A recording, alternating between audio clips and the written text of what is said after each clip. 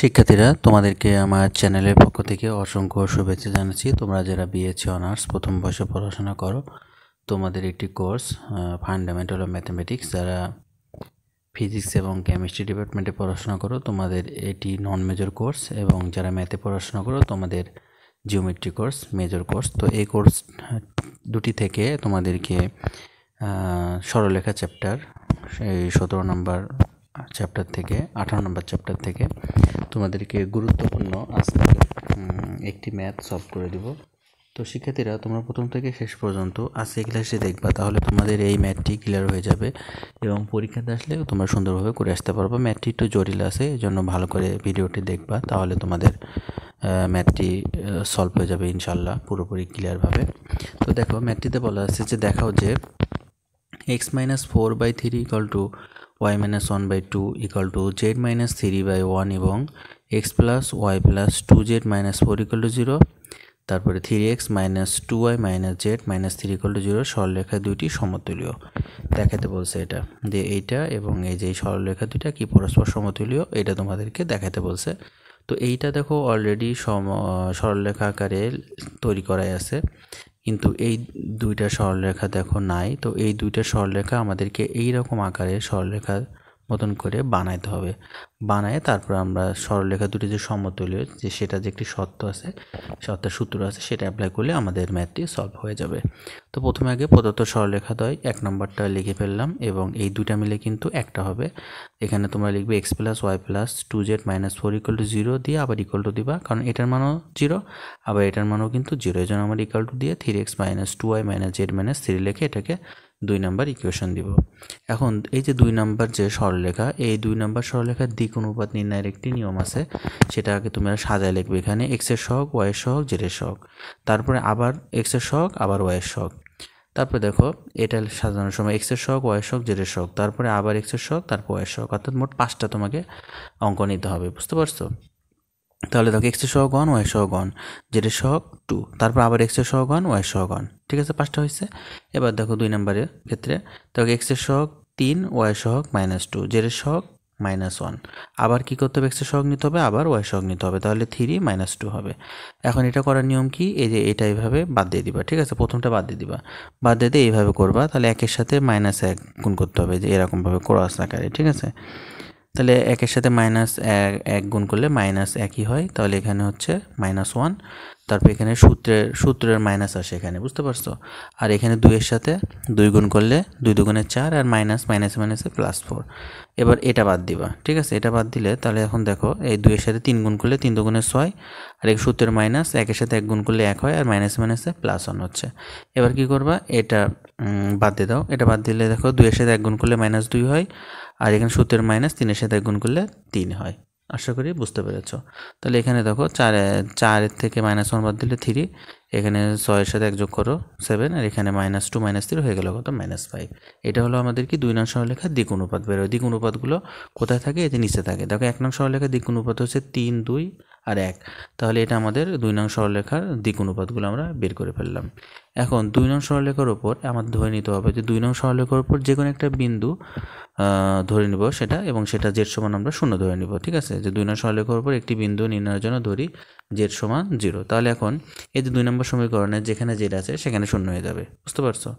তাহলে এটা হবে X plus Y Y minus Z equal to zero এটা হবে three X minus two Y minus three equal to zero দেখো এটাকে আমরা এইভাবে লিখলাম, দেখো X plus Y minus four equal to zero three X minus two Y minus three equal to zero এটার এখন হচ্ছে বজ্রগুণের সাথে আমরা এক্স এবং ওয়াইয়ের মান বের করব, তাহলে এটাকে এইভাবে ধরবা, ঠিক আছে? আগে এক্স লিখবা, তারপর ইকাল টু ওয়াই তারপর ওয়ান লেখার পরে এভাবে ধরবা, ধরার পরে এখন এক্সের সহগ ওয়াই সহগের সাথে মাইনাস থ্রি গুণ করো ওয়াই সহগ ওয়ান আর এখানে মাইনাস থ্রি তাহলে মাইনাস থ্রির সাথে অনুগুণ করলে মাইনাস থ্রি হয়। এবার এইদিকে আসো, এটা মাইনাস ফোর মাইনাস টু হয়ে গেল কত? এইট আর মাইনাসে মাইনাসে প্লাস এইট ঠিক আছে? সূত্রের মাইনাস তার প্লাস মাইনাসে মাইনাস এইট আশা করি বুঝতে পারছি, এবার এটা বাদ দিবা। এটা বাদ দিলে দেখো, তাহলে মাইনাস ফোরের সাথে তিন গুণ করলে তিন চার বারো, এবার এখানে মাইনাস সূত্রের মাইনাস আর এখানে মাইনাস থ্রির সাথে এই এক্সের সহগ ওয়ান তাহলে মাইনাস থ্রি হয় মাইনাস মাইনাসে প্লাস থ্রি এবার এটাকে বাদ দাও, তাহলে এখানে হচ্ছে মাইনাস টু এর সাথে অনগুণ করলে মাইনাস টু এখানে সুতের মাইনাস আর থ্রির সাথে ওয়াইয়ের সহ অনগুণ করলে থ্রি আশা করি বুঝতে পেরেছ। তাহলে এখানে এক্স বাই মাইনাস ইলেভেন হচ্ছে ইকাল টু এখানে ওয়াই বাই মাইনাস বারো থেকে তিন বাদ দিলে মাইনাস নাইন ইকাল টু এখানে হচ্ছে মাইনাস টু মাইনাস থ্রি হয়ে গেলো মাইনাস ফাইভ তাহলে এক্সের মান বের হচ্ছে যে এক্স মাইনাস ইলেভেনের সাথে ইকাল টু করো one by minus one minus minus cancel হয়ে গেলো, তাহলে এই ইলেভেন উপরে উঠে গেলো। তাহলে এক্সের মান বের হলো বের হলো কত? ইলেভেন বাই ফাইভ ওয়াইয়ের মান বের হলো কত? মাইনাস মাইনাস ক্যান্সেল হয়ে গেলো নাইনটা উপরে উঠে গেলো, তাহলে ওয়াইয়ের মান হলো নাইন বাই ফাইভ আশা করি তোমরা বুঝতে পেরেছ। তাহলে দুই নং সরলরেখার প্রমাণ আকার আমরা এভাবে লিখতে পারি এক্স মাইনাস এক্স ওয়ান ঠিক আছে X minus X one X one মানে এখানে এটা ধরে এক্স ওয়ান তাহলে এগারো বাই ফাইভ ডিভাইডেড বাই হচ্ছে যে তোমার, যেটা বের করলে না যে দ্বিগুণুপাত থ্রি তাহলে এর নিচে থ্রি দিবা, তারপর Y minus Y one one মানে হচ্ছে এখানে নাইন বাই ফাইভ আর হচ্ছে দ্বিগুণুপাত সেভেন আর এখানে জেড মাইনাস জিরো কারণ জেডের মান তো জিরো জেডের তো কোনো মান নাই, আর এখানে দ্বিগুণুপাত কত ছিল? মাইনাস ফাইভ মাইনাস ফাইভ ঠিক আছে? আশা করি বুঝতে পেরেছ, এটাকে তোমরা তিন নম্বর সমীকরণ দিবা। তো শিক্ষার্থীরা এখন হচ্ছে সরলরেখাদ্বয় সমতলী হওয়ার সত্যটা কি?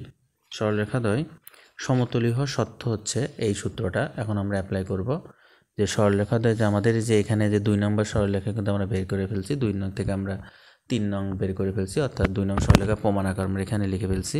এখন সরলরেখাদ্বয় সমতলীয় হওয়ার সত্য হচ্ছে, সূত্রটা হচ্ছে X minus X one X মানে X one minus X two Y one minus Y two Z one minus Z two A one B one C one A two B two C two equal to zero এখন দেখো x one বলতে কোনটা বোঝাচ্ছে?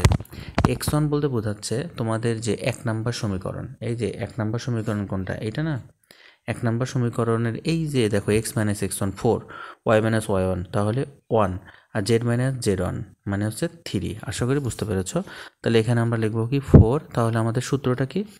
X one minus X two ঠিক আছে? X one minus X two X two বলতে কোন কোনটা বোঝাচ্ছে? এই যে তিন নম্বর সমীকরণে এলিভেন বাই ফাইভ তাহলে দেখো আমরা four minus eleven by five লিখলাম, এখানে ওয়াই ওয়ান মানে ওয়ান এক নম্বর সমীকরণের। আর এই যে তিন নম্বর সমীকরণের দেখো কত? এই যে নাইন বাই ফাইভ ঠিক আছে? আর থ্রি মাইনাস জিরো জিরো কেন লিখলাম? কারণ আমাদের তিন নম্বর সমীকরণে দেখো এখানে জিরো আছে, ঠিক আছে? আর ওটা তো থ্রি ছিল থ্রি মাইনাস জিরো এখন এ ওয়ান মানে কোনটা? বলো A one B one C one A one B one C one এখন বুঝবা কীভাবে? ওই যে তোমাদের দিক অনুপাত কথা বললাম না, এক নম্বর সমীকরণের দিক অনুপাত থ্রি, টু, ওয়ান তাহলে এটা এ ওয়ান, এটা বি ওয়ান, এটা সি ওয়ান, বুঝতে পারছ? আর তিন নম্বর সমীকরণে দেখো দিক অনুপাত হচ্ছে, এই যে A A two B two C two লিখছি না, A two B two C two, তাহলে থ্রি, সেভেন আর মাইনাস ফাইভ। তাহলে আমরা মানটা বসাই দিলাম।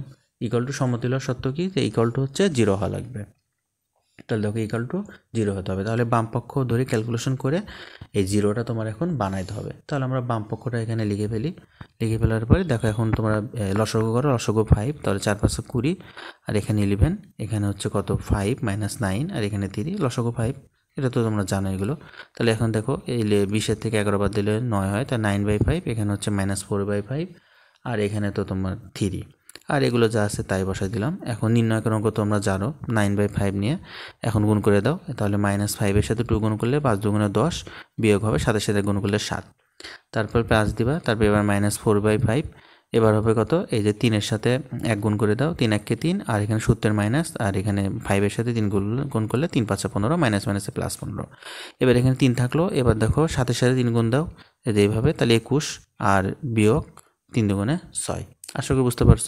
তারপর দেখো মাইনাস এই যে সতেরো হয়ে গেল না মাইনাস সতেরো হলো মাইনাসটাকে আগে লিখলাম তো নাইন বাই ফাইভ ইন্টু সতেরো, এখানে প্লাস মাইনাসে মাইনাস বসল ফোর বাই ফাইভ এখানে পনেরো সাথে তিন যোগ করলে আঠারো, আর এখানে একুশের থেকে ছয় বাদ দিলে পনেরো, তাহলে থ্রি ইন্টু পনেরো। তাহলে এখানে দেখো নাইনের সাথে সতেরো গুণ করলে কত হয়? একশো তিপ্পান্ন হয় মাইনাস একশো তিপ্পান্ন বাই ফাইভ এখানে আঠারোর সাথে চার গুণ করলে হয় বাহাত্তর, তাহলে মাইনাস বাহাত্তর বাই ফাইভ আর এখানে হচ্ছে তিন তিন পনেরো পঁয়তাল্লিশ।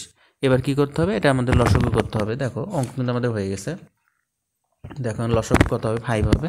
তাহলে এখানে মাইনাস একশো তিপ্পান্ন হবে, এখানে বাহাত্তর হবে, আর এখানে তো নিচে কিছু নাই, তার মানে ফাইভের সাথে পঁয়তাল্লিশ গুণ করতে হবে, দুশো পঁচিশ হবে।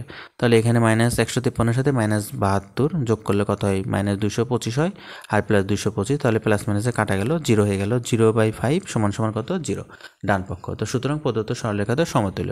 তো সমতুল্য সত্য কি? শূন্য হওয়া লাগবে। শূন্য তো আমরা করেই ফেলছি, আমাদের ম্যাথ কিন্তু হয়ে গেছে। দেখো কত ইজি তারপর যদি তোমাদের কোথাও বুঝতে অসুবিধা হয়, তোমরা অবশ্যই আমাকে কমেন্ট কমেন্টে জানাবা। তো শিক্ষার্থীরা তোমরা ভালো থাকো সুস্থ থাকো। আজকে এখানে শেষ করছি। আল্লাহ